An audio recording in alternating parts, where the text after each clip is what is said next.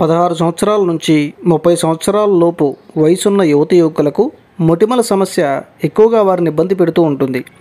దీనికి కారణం బాల్యం నుంచి కౌమార దశలోకి మారటం వల్ల కొన్ని రకాల హార్మోన్స్ అనేవి విడుదలవుతూ ఉండడం మరొకటి ఆహార పదార్థాల్లో వేయించినవి ఎక్కువగా తినడం నూనె ఎక్కువగా ఉండే ఆహారం తీసుకోవడం మొటిమలు రావడానికి కూడా ఒక కారణం.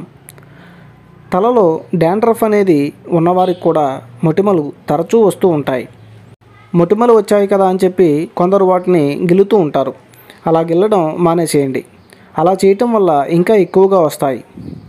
మీరు చూస్తున్న సోప్ వాటర్ మిలాన్ అంటే పుచ్చకాయతో తయారైంది. దీన్ని డైలీ సోప్గా ఉపయోగించండి. దీని ద్వారా మీ ముఖంపై మొటిమలు తగ్గిపోతాయి. అలానే యాంటీ డాండ్రఫ్ షాంపూను కూడా తలస్నానం చేసేటప్పుడు ఉపయోగించండి. ఇవి ఉపయోగిస్తూ మొటిమలు లేని ఆరోగ్యకరమైన అందమైన జీవితాన్ని జీవించండి. కావలసిన వారు ఇక్కడ ఉన్నటువంటి కాంటాక్ట్ నంబర్కు కాంటాక్ట్ అవ్వండి.